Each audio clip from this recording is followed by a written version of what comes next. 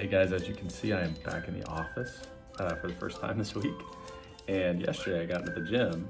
Uh, had to get out of the house. Cabin fever was overwhelming. Had to get away from the kids.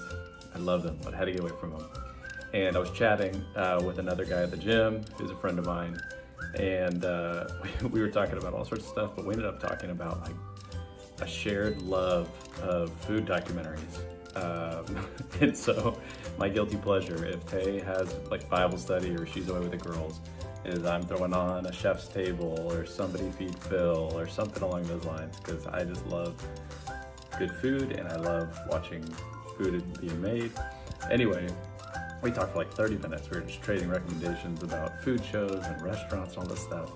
And, uh, and it just, something I've been thinking about lately is uh, this transition that happens from when something is just useful to beautiful. Um, so, for instance, food. Food is fuel for our bodies at its most basic form. It's like I eat, it gives me energy, it gives me nutrients, I can survive. But food, food is also tasty. It's we can enjoy the taste and the flavor of it, um, which we didn't have to, but we get to, and it can be beautiful. It could be totally be art.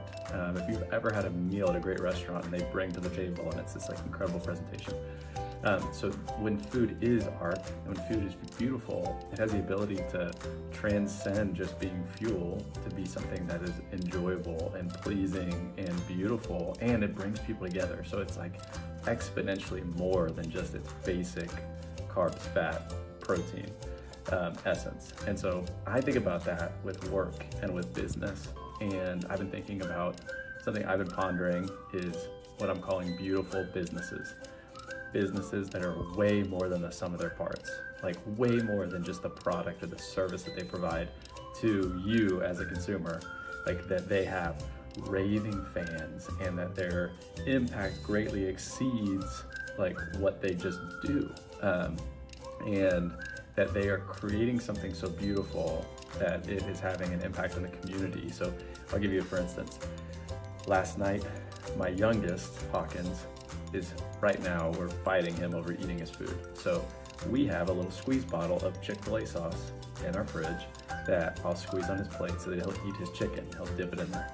And I was looking at the squeeze bottle and it says on the squeeze bottle, um, hey, every 100% of the profits of the squeeze bottle go to pay for scholarships for our team members. So they, Chick-fil-A has decided to put this squeeze bottle of their sauce out into the world and they're making no profit off of it. It's going to fund scholarships for their people.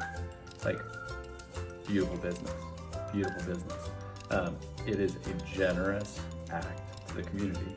And so I've been thinking about beautiful businesses this week and other beautiful businesses that exist. And there's a handful. I'm not going to spoil uh, any more for you, but I would love for you to email me any beautiful businesses that you come in contact with or come to mind for you. And I put some criteria in the email. Would love to hear your thoughts.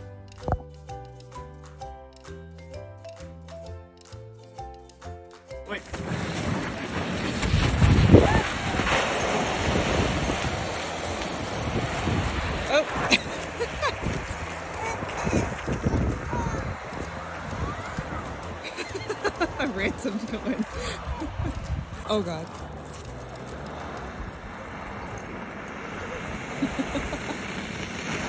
oh god.